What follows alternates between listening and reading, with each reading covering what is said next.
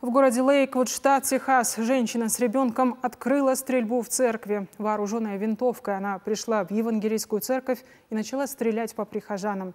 При этом она держала за руку маленького мальчика. Преступницу застрелили офицеры полиции, которые случайно оказались в храме во время инцидента. Во время нападения женщина кричала, что при ней есть взрывное устройство и угрожала привести его в действие. Однако прибывшие саперы взрывчатку не обнаружили. В ходе перестрелки ранения получил ребенок, который был с нападавшей. Он в больнице в критическом состоянии. Полиция выясняет личность малыша и кем он приходится преступнице. Есть версия, что она могла похитить чужого ребенка. Пока не установлена личность нападавшей. Также пострадал 57-летний прихожанин.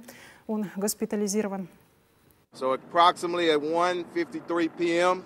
Примерно в 13.53 женщина 30-35 лет вошла в здание. С ней был ребенок на вид 4-5 лет. Женщина открыла огонь из винтовки. Ее обезвредили офицеры полиции не при исполнении, которые случайно оказались рядом. К сожалению, при стрельбе пострадал пятилетний ребенок и 57-летний мужчина. Ему прострелили ногу. Мы молимся за их выздоровление.